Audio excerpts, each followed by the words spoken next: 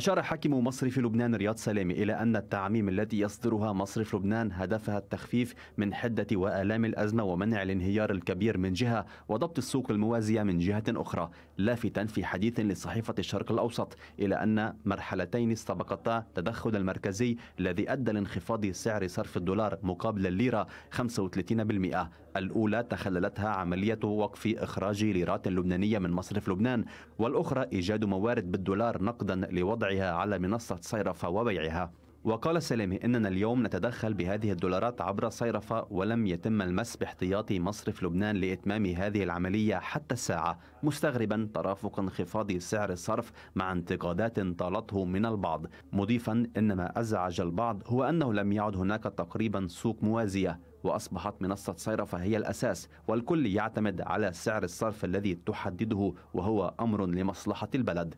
وعما إذا كان سيتمكن من خلال الآلية الجديدة التي يعتمدها من الحفاظ على سعر صرف بمستوى 20 ألف ليرة قال سلامي سنترك السوق تتصرف لن نتدخل لتثبيت السعر وسنترك السوق تأخذ مداها ولكننا موجودون لمنع أي تقلبات حادة كما كان يحصل سابقا.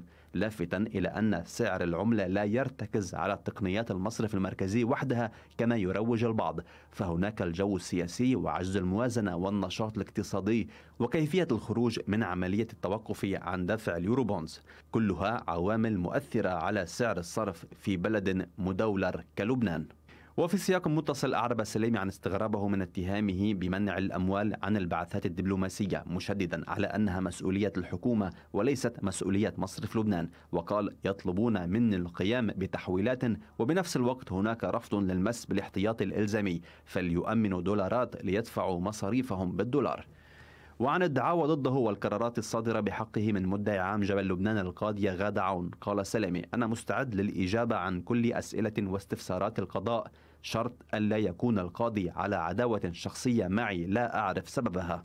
وعما إذا كان ممنوعا من السفر ومحجوزا على أملاكه أكد سليمي أنه لم يحاول أن يسافر وليس لديه سفر حاليا. وفي ملف التدقيق الجنائي شدد سليمي على أن قرارات المجلس المركزي واضحة والمعلومات التي زودنا بها شركة التدقيق كاملة.